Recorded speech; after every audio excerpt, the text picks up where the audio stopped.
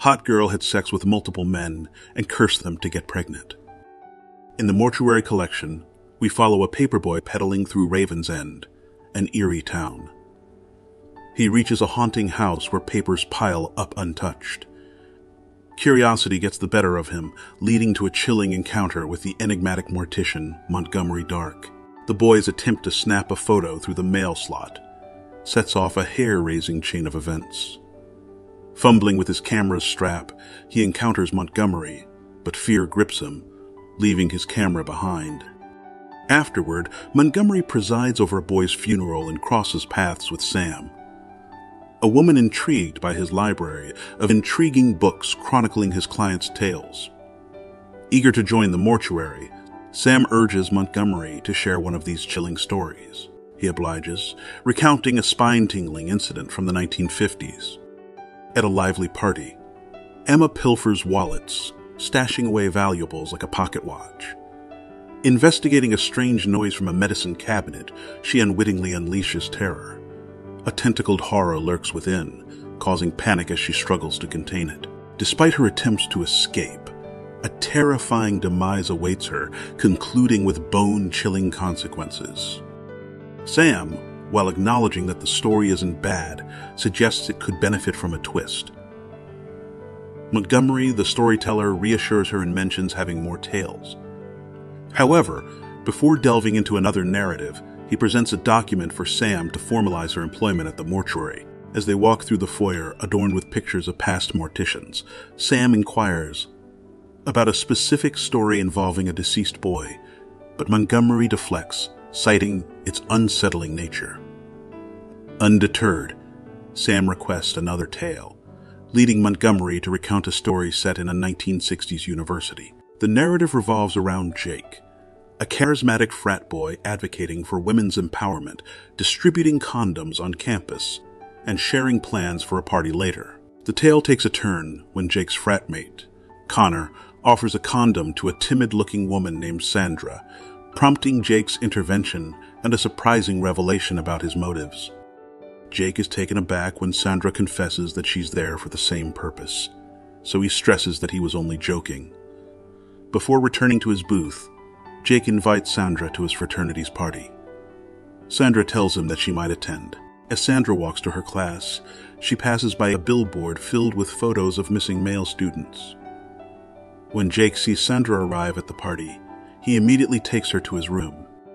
As they engage in intimate activities, Sandra cautions him about potential dark side, revealing that she might be a serial killer. She then guides Jake to the bed disrobes after concealing an object in her skirt, and slowly approaches seated atop him. She discloses having a surprise for him. Revealing the item, Jake is disappointed to find it's a condom. Though reluctantly complying, Jake later requests Sandra to turn around during their encounter. Taking advantage of her distraction, he discreetly removes the condom and continues their intimate act. The next morning, Jake awakens to find Sandra absent, leaving only her phone number written on the mirror. Attempting to erase it, he discovers the numbers are still faintly visible. Suddenly experiencing discomfort in his stomach, Jake heads to the bathroom, where he vomits. Upon Connor's arrival, he notices rashes on Jake and advises him to seek medical attention. At the clinic, Dr. Harold Kubler prescribes penicillin for Jake's rashes, but detects something unusual in his file, prompting a further examination request.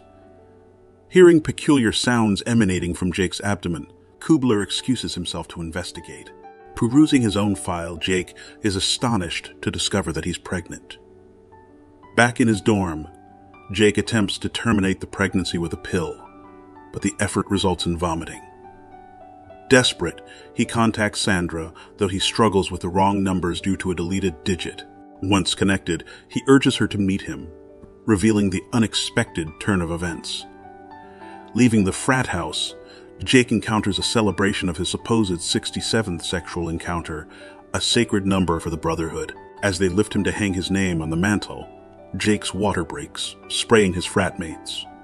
Released, he rushes to Sandra's house, where her father, Ralph, reacts with frustration at the sight of Jake's growing belly. Sandra's mother, Margaret, contacts Sandra, preparing for the unexpected arrival of the infant. As Sandra enters, Jake mistakenly accuses her of causing his pregnancy.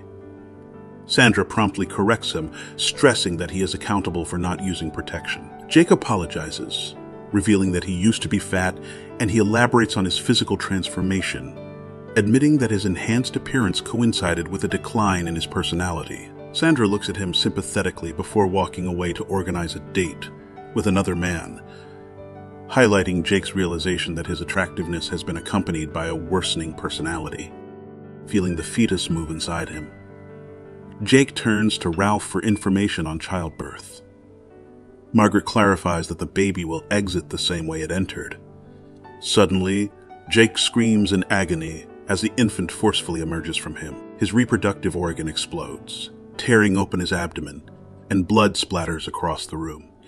Margaret deftly delivers the baby to the nursery, but accidentally triggers a whistle toy, unleashing a cacophony of cries as all the infants wake up.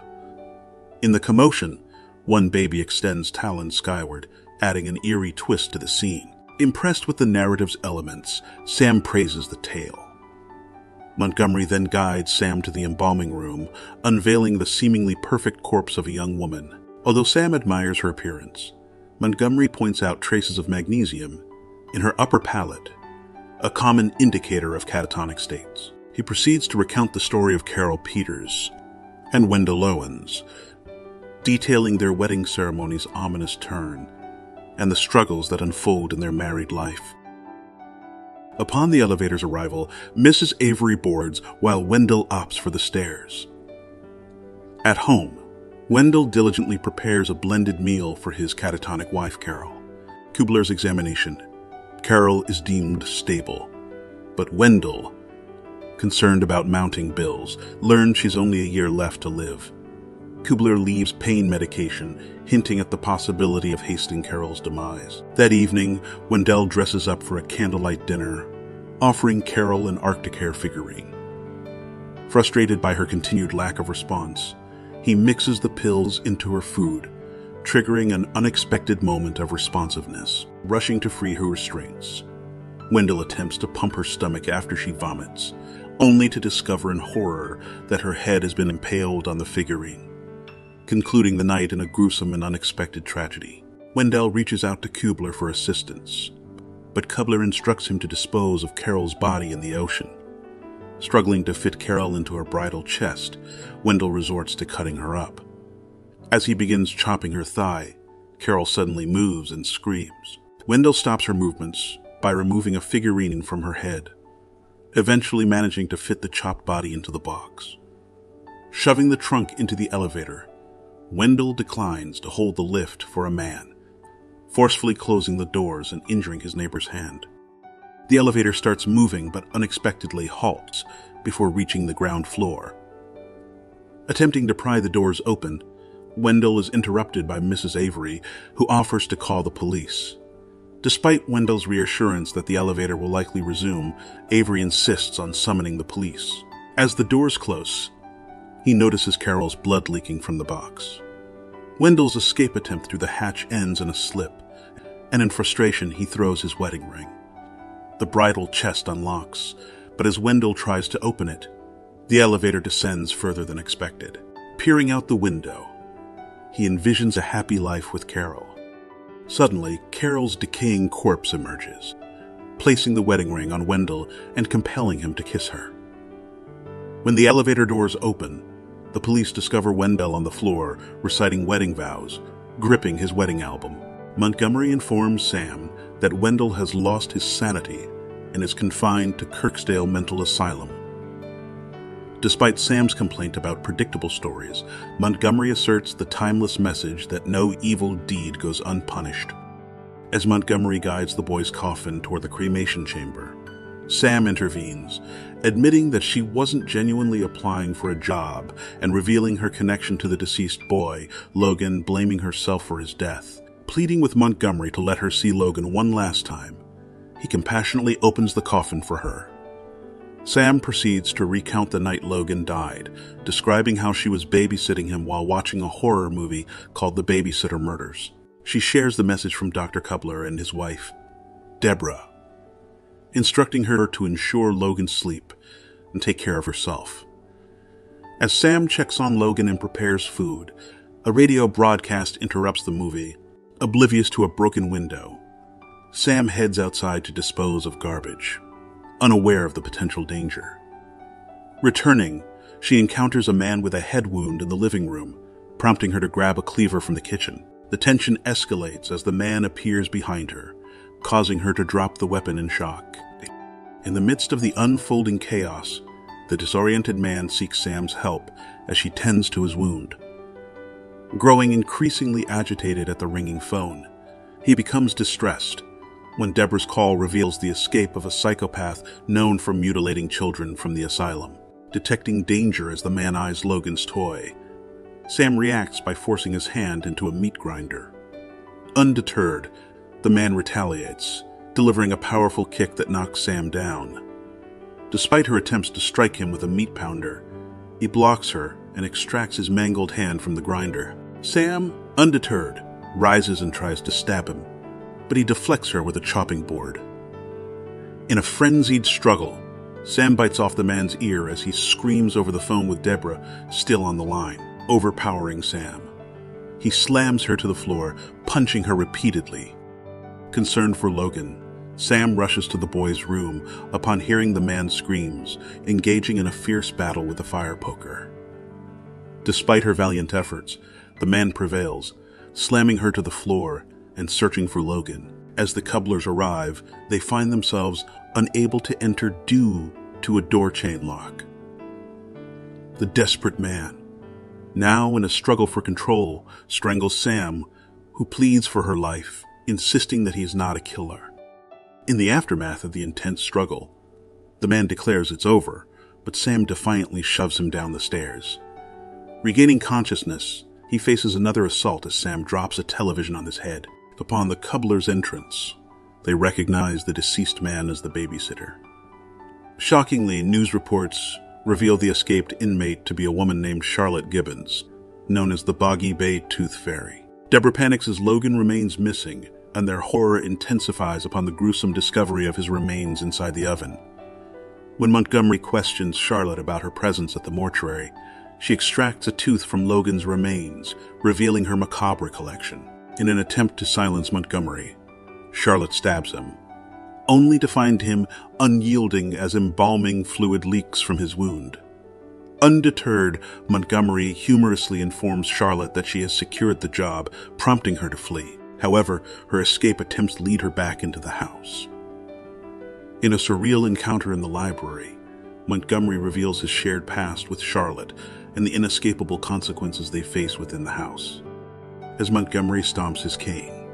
Books fall, disclosing the extent of Charlotte's stories in the library. Dark spirits of children crawl out of the pages, attacking Charlotte when one bites her. The assault causes her to drop her tooth collection, leading to excruciating pain as more spirits join in. Charlotte's demise is marked by a spirit grabbing a tooth and donning it. Montgomery, seemingly leaving the house, breathes a sigh of relief but inexplicably explodes into dust. Inside the house, Charlotte revives, glimpsing her hideous face in the mirror. Shortly after assuming the role of the new mortician, Charlotte shares a tale with the paperboy. When the paperboy tries to depart, she dissuades him from leaving, mentioning that she is about to prepare dinner. And there you have it. If you enjoyed this video and want more, don't forget to hit that subscribe button, turn on notifications, and let's continue this cinematic journey together here at Black's Movie Recaps. Thanks for watching.